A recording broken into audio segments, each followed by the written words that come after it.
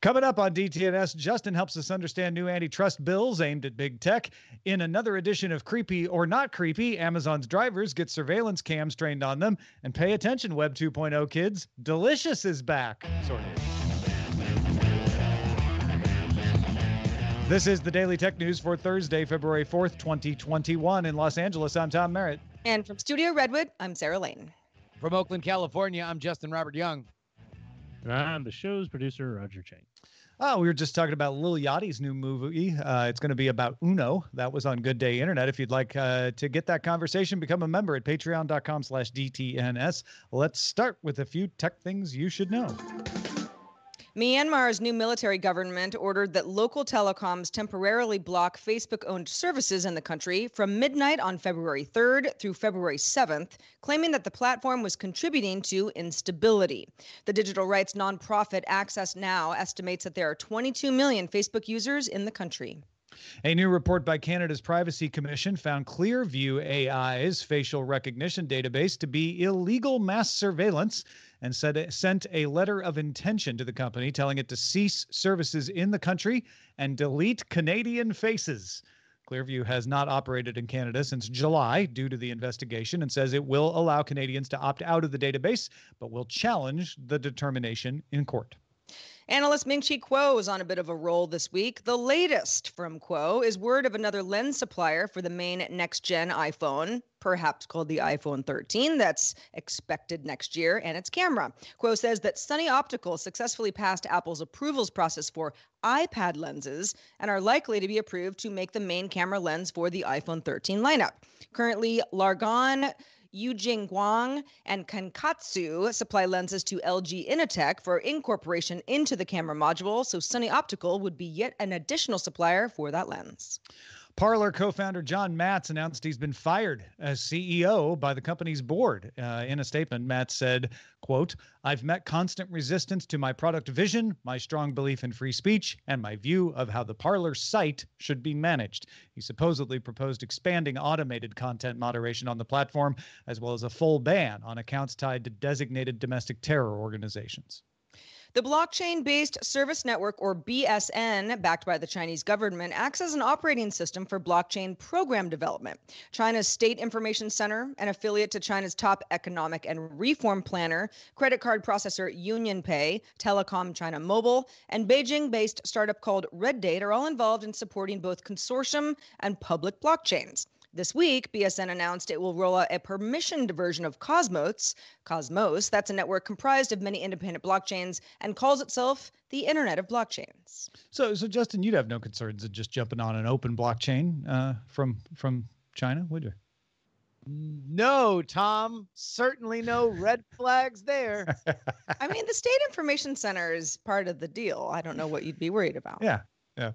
All right. Let's talk a little more about. Uh, let's, let's talk a little more uh, about uh, the information uh, given some some details on Apple's uh, alleged upcoming mixed reality headset. Sources have more details, including a rendering this time of what they say is Apple's VR AR headset.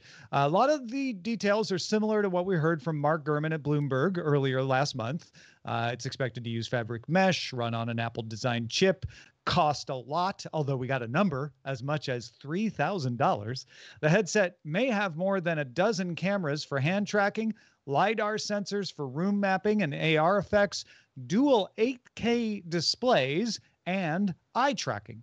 Uh, to save battery life, the information sources says Apple would use foveated rendering. That's when you only render in full resolution what your eyes are looking at. Everything in the periphery can be a little lower. Sources say Apple has not finalized input control, but the options they're considering are a combination of hand tracking, eye tracking, a dial on the headset, or something they call a thimble like accessory.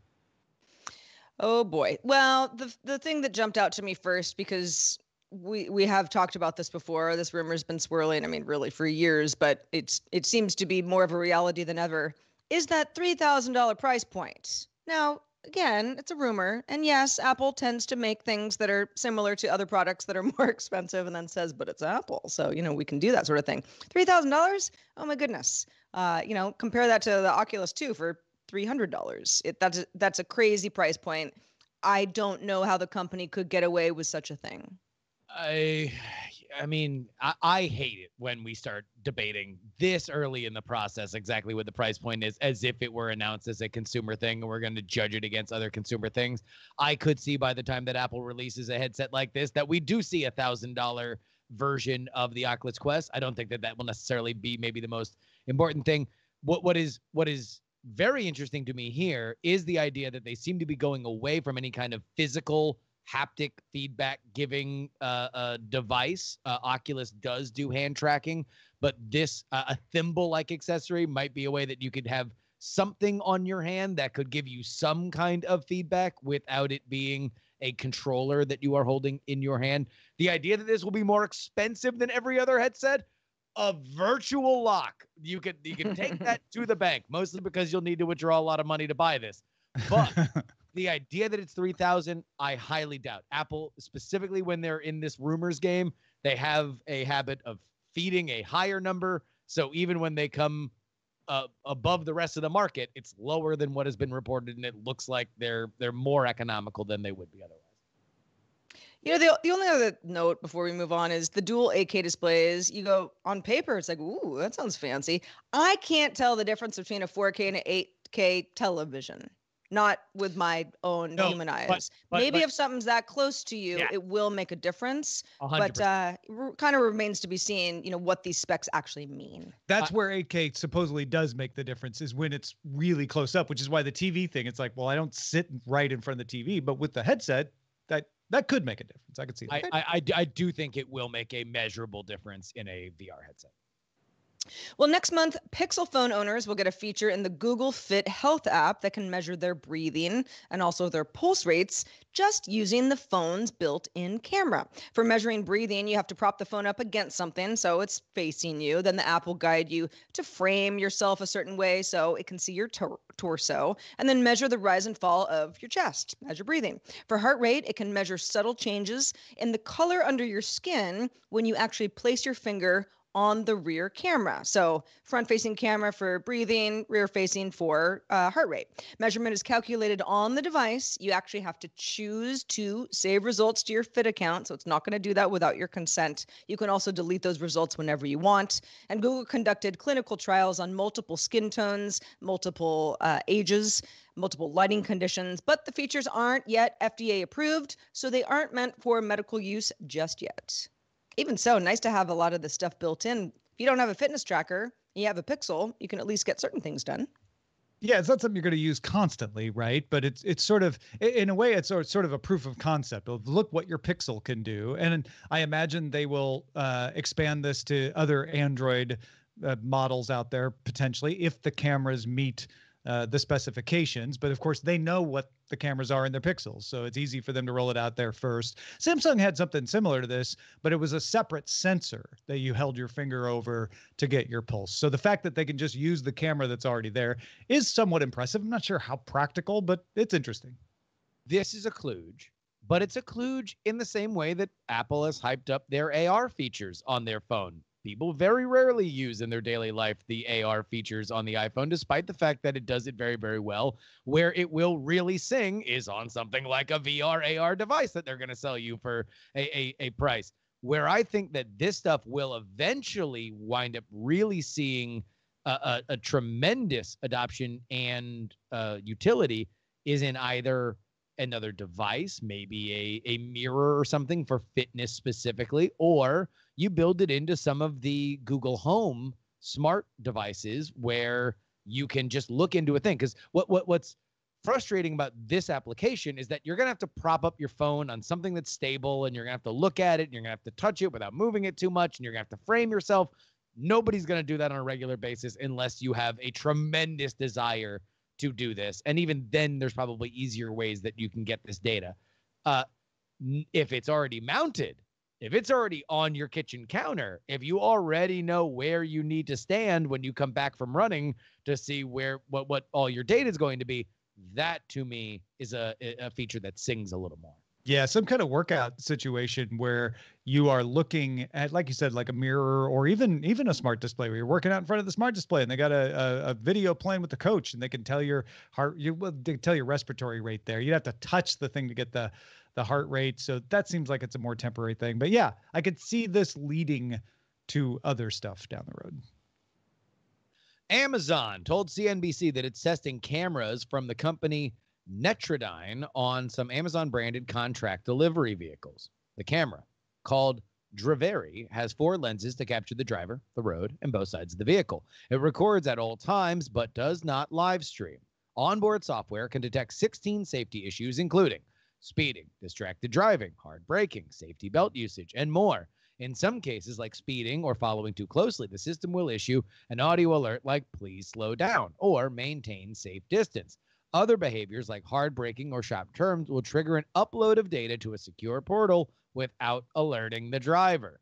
It does not record audio, and drivers can turn off the driver facing camera when the ignition is off. Amazon's privacy policy issued with the camera says Amazon may use data collection on the camera in employment decisions. It can also be used to defend the driver in collisions or complaints of package theft. UPS began testing a similar system with its drivers last year. Yeah, so uh, you you could you could pick where you wanna where you wanna fall on this, right? Because having a system that tells me like, hey, you forgot to put your safety belt on, or uh, oh, you're going a little fast there, partner, uh, which is not what it says, but you know, something that's like, oh, thanks, you know, that that that's helpful. You, you have you have a very Pixar esque version. yeah, uh, the Disney version of this will be a totally different thing. Uh, but but I could see some of this being like, as a driver, I'd appreciate it. Uh, on the other hand, the idea that uh, when I brake really hard or yawn, which is one of the examples that a, a, driver gave CNBC, and that automatically gets uploaded, and a supervisor asks me about it later or contacts me and says, I saw you yawn. You now have to take a 15 minute break at the side of the road. I, I might get a little annoyed at that. Like I yawned, but I'm not tired. Or, you know, like, of course I hard. I was avoiding an accident and now I have to defend myself. Yeah, I think that the obvious privacy concern is, I mean, it's just obvious. Uh, some of the stuff that made it less of an issue if I were an Amazon driver is not recording audio. So, sure, maybe you're on the phone with your mom, it's hands free, you're not doing anything illegal, you're driving, you know, that that stuff is supposedly not getting recorded. You can turn the camera off if you're not on the road. I don't know, maybe you're in a parking space, you're eating a sandwich for lunch. You just don't want anybody to see you doing that because you're not, you know, on the clock. And having safety warnings if something happens is mostly a good idea. I think that, yeah, if you yawn and that becomes something that the company might say, hmm, maybe this shift is a little long. We've been thinking about maybe um, you know, splitting shifts up so that drivers don't get fatigued. This is good data for us. That would be one thing. But if, yeah, if it's sort of like now you're forced to not drive or you somehow seem like you're not doing your job well enough because we're watching you, that becomes a different issue. T- to me, it's, I don't know how different it is than, you know, having your boss kind of breathing over your shoulder and snooping at what you're doing. And if you don't seem like you're working, you get asked about it, but it's different when it's remote.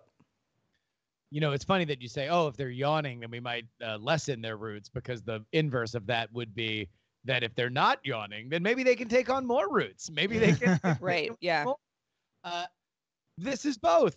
Both yes, it is an invasion of privacy. But also, if you run over somebody with with with a, a truck that has Amazon on the side of it, the the, the story isn't going to be about Steve the delivery driver. It's going to be about Amazon and their culture of recklessness. So this is them covering uh, not only for probably insurance claims just as much as anything in terms of people looking to sue uh, uh you know Amazon the, again for trucks that have Amazon on the name of it because they assume they're going to be able to get money from uh, a settlement, but also to try to proactively make sure that they keep as safe of a workforce. Or sorry, let me not even say safe because safe would even be loaded and biased in terms of Amazon. The least legally actionable drivers that they can possibly have. Lowering liability. Yeah. Liability exactly. lowering. Uh, listen, Uh, I I think every time there's a there's a new system, and I'm not saying this system is better or worse than these other systems, but putting governors on trucks that say, well, we'll just keep people from going over 65 miles an hour, and that'll stop our drivers from speeding, or or just making people make it against the law not to wear a safety belt, right? Uh, everybody always complains when it changes, so some of it is that. But DJ, uh, former UPS driver in our Discord, says this is all annoying. So yeah, I don't think drivers really are seeing the other side of this. Hey, folks, what do you want to hear us talk about on the show? Well, let us know in our subreddit. Uh, we love getting those suggestions. It definitely helps us put our lineups together every day. Submit stories and vote on them at dailytechnewsshow.reddit.com. The incoming head of the Senate Antitrust Subcommittee, Senator Amy Klobuchar, plans to introduce a new antitrust bill targeted at big tech companies that would place limits on acquisitions. If the bill became law, here's how it would shift the burden of proof onto companies with more than 50% market share. So that's how this this bill would work. You it would work by shifting the burden of proof, and I'll explain what that means in a second. And it would only apply to companies with more than 50% market share, which right now that's a lot of big tech companies. If you are one of those companies, you would have to prove that an acquisition would not create an appreciable risk of materially lessening competition. In other words, if this were the law now, uh, and Facebook were buying Instagram now, Facebook would have to prove that buying Instagram wouldn't hurt competition rather than what they had to do under the current law, which is having investigators prove. Uh, like you would, right under the way the law used to work, you had to prove that it would hurt competition for Facebook to buy Instagram. They want to change the law to say Facebook has to prove it won't. Some conduct would be presumed anti competitive unless the company can prove otherwise. So let's say Amazon shuts a company off its platform for what it says were violations of policy. Right now, the company that got shut out would have to go to court and prove that it wasn't just a violation of policy, it's anti competitive. Under this bill, Amazon would have to prove why it was not anti competitive. And a large company could face antitrust liability even if the market in which it took place was not precisely defined by the claimant. There's a whole load of complicated case law around market definition. For instance, I won't go down this rabbit hole now, but apparently Pepsi and Coke have been ruled in court not to be in the same market because brand loyalty makes customers less price sensitive. So let that boggle your mind for a second and then just realize that same kind of principle has been used for tech companies to say, well, they're not even in the same market as us. Uh, this would get rid of that loophole. Justice Department and the FTC would be given larger budgets and would be able to seek fines for first time civil antitrust violations. There's also another bill being drafted by Representative Dave Cicilline of Rhode Island that would prohibit large companies from operating a platform and then competing with users of the platform. That's uh, one of the accusations against Amazon. The App Association, a trade group of small and mid sized software companies opposes these kinds of restrictions because they say it could shut them out of working with large companies. If large companies are seeing them only as competition rather than potential acquisitions, uh, that could cool some kinds of collaboration. So, Justin, this is just Amy Klobuchar trying this again. She apparently tried it in the last Congress. It didn't didn't float then. Got any chance of floating now? Uh, well, to to be honest, anything that would involve bipartisan support, uh, uh, I'm going to go ahead and bet against right now, just because we are not in a particularly bipartisan mood in our politics. However, considering we have a newly minted power sharing agreement between Senate Minority Leader Mitch McConnell and Senate Majority Leader uh, Chuck Schumer, who have uh, now finalized what that's going to be. Uh, we do have a 50 50 Senate with Vice President uh, Kamala Harris serving as the tiebreaker. So essentially, Schumer is in, in the lead. You need 10 members of the opposite party. So I don't know if immediately this would get all 50 senators from either party.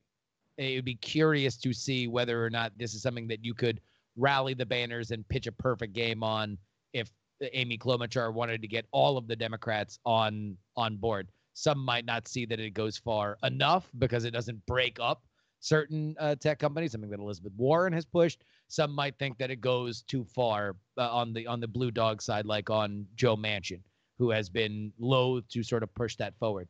That being said, we live in a world now where a lot of Republicans would like to see big tech be punished. That's been some of the the uh, Sturm and Drang around 230, but I think this specifically the idea that somebody getting kicked off would have to prove why it's not anti-competitive.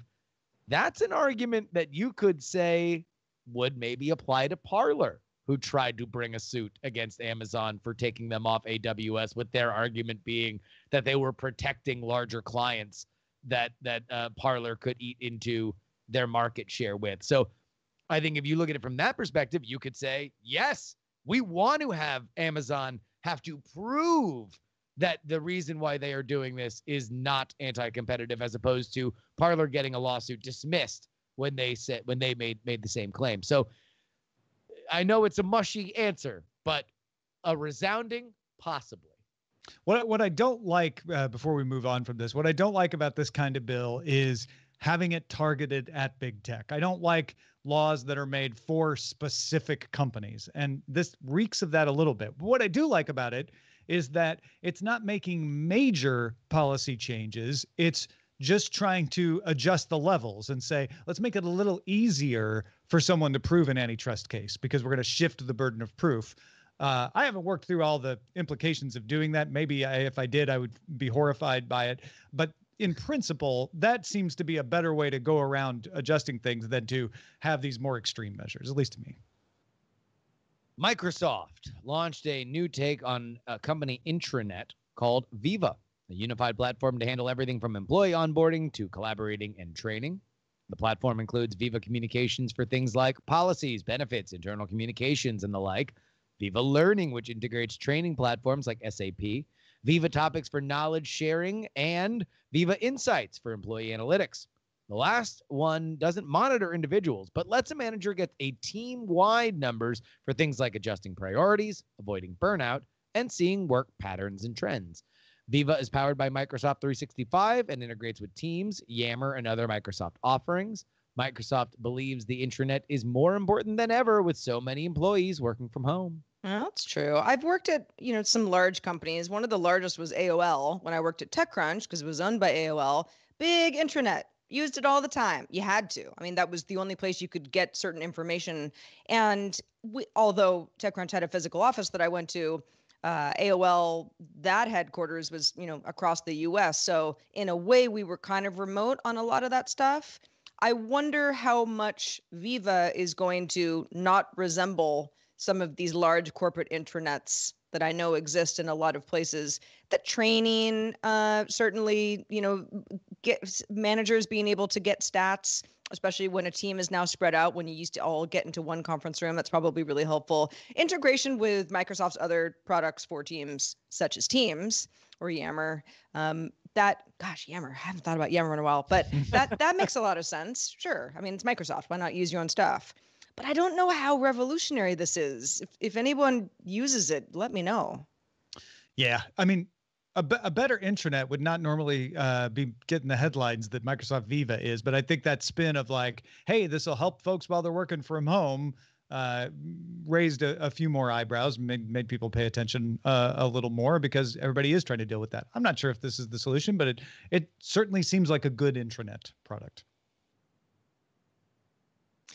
Well, if you hearken back to, gosh, the early days of social. What year? Mm, let's call it 2007 ish. You might remember a lovely little tool called Delicious. Remember Delicious? Oh, yeah. yeah. where you save links, categorize them, find them later, uh, be able to share with others. Delicious was the first of its kind and was sold and sort of went into relative obscurity some time ago. Well, if you still follow Delicious on Twitter, which is at Delicious on Twitter, the uh, company posted Delicious should be now back up in read only mode for those who can remember their password. You can export your bookmarks or link them with a Pinboard account and then links to del.icio.us, which was Delicious's uh, very clever URL back in the day. I actually went and thought, oh, I'll never remember my password because it was so long ago because I signed up in March of 2007. So I was all, you know, on somewhat the early side. And I did remember my password because it was a stupid password that I don't use anymore, but uh, you know, I did use for Delicious back in the day. And you don't really get a sense of what it used to look like when you were using it.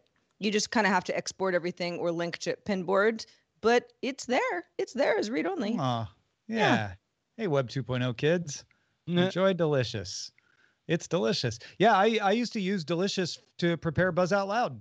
That that was the I had the Delicious button in my browser bar in my you know in my bookmarks, and uh, I would if I was on a page that I thought would make a, a good story for Buzz Out Loud, I'd, I'd hit that Delicious button, and Molly and Veronica and Jason and I all shared Delicious pages that we would look at uh, with each other, and then eventually I moved on to Google Reader. That's how Yeah. long ago it was. We went up the internet uphill both ways. Yeah. All right, let's check out the mailbag. Let's do it. Friend of the show and oft guest, Allison Sheridan wrote in and said, Hey, recently you mentioned the Scaleway M1 Mac Mini cloud service on the show.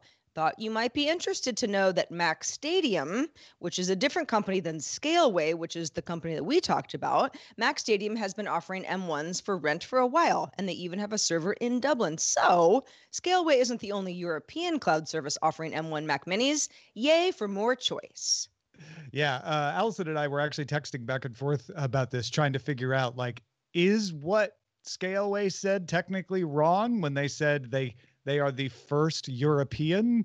Because Scaleway is a European company and Mac Stadium is an Atlanta-based company, but Mac Stadium has that Dublin server. But anyway, the upshot is doesn't really matter. Uh, you got more choices. You got you could use Scaleway or Mac Stadium. Go go shop around. Take a look. You get some fast M1s in the cloud. Kind of cool. There, there you go. Thanks, Allison. Good finds. Also, if you've got good finds, you got questions, you got comments, you got anything for us, feedback at dailytechnewsshow.com is where to send it. Shout out to patrons at our master and our grandmaster levels. Today they include Ken Hayes, Tony Glass, and Jeffrey Zilks.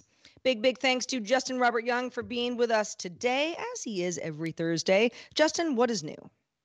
Well, politics, politics, politics. If you are in the Arizona state area or you're just curious why the Arizona Republican Party is censuring people like their sitting Republican governor or Cindy McCain, you're going to want to listen to Wednesday's episode of the show. If you are a Tom Merritt fan, you're going to want to listen to Friday's episode of the show because he is on. And next Wednesday, we have a deep dive into the concept of the California recall, whether it's likely, what needs to happen, when it would happen, and who might replace sitting Governor Gavin Newsom, all discussed on the Politics, Politics, Politics podcast.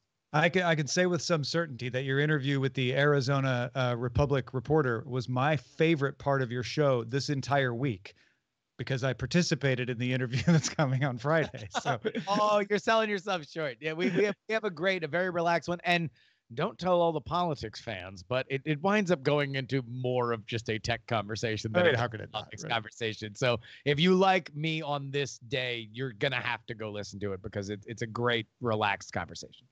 Hey, patrons, uh, did you know that your ad free RSS feed can have just DTNS or just GDI or even both? Uh, check your tier on Patreon. It's a little confusing, I know, uh, but your tier decides what goes into the feed. The URL doesn't even change, but if you change your tier from, say, the one that says DTNS to one that says GDI, then you'll start getting Good Day Internet in your feed. Or if you change it to the one that says DTNS, you'll get just Daily Tech News Show. Or if you change it to the one that says all, you'll get both. Uh, you can change your tiers at dailytechnewsshow.com slash Patreon. Hey everybody, we are live Monday through Friday at 4:30 p.m. Eastern, 21:30 UTC. You might already know because you watch or listen live, but you can find out more at dailytechnewsshow.com/live. We will be back tomorrow. We'll be back with Patrick Norton and Len Peralta. Talk to you then. This show is part of the Frog Pants Network. Get more at frogpants.com. Diamond Club hopes you have enjoyed this program.